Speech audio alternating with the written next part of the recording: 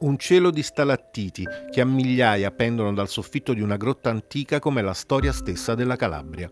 A Sant'Ilario, in provincia di Reggio, nel ventre delle colline della Locride che si affacciano sullo Ionio, si cela un altro tesoro dimenticato.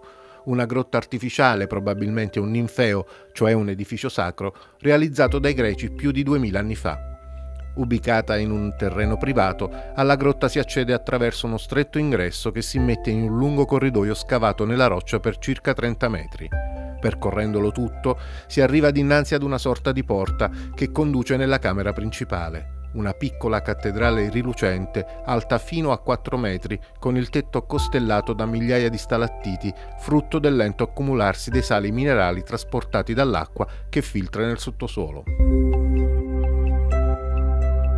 Fu questo lo spettacolo che si trovò dinanzi Renato Mollica, appassionato cultore della sua terra che a metà degli anni Ottanta venne a conoscenza della grotta. La esplorò, consapevole di essere forse il primo che ci metteva piede da millenni, ma promise all'anziano proprietario del terreno di non rivelare a nessuno dove fosse l'ingresso.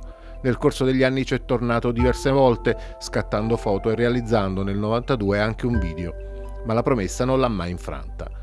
Oggi, grazie a un progetto di ricerca universitario sugli antichi ninfei, sulla grotta di Sant'Ilario si sono riaccesi i riflettori della comunità scientifica. In attesa che gli archeologi sciolgano i dubbi e ricostruiscano la storia di questo luogo misterioso, non resta che augurarsi che non venga nuovamente dimenticato, sprecando così l'ennesima preziosa occasione per valorizzare l'inestimabile patrimonio calabrese.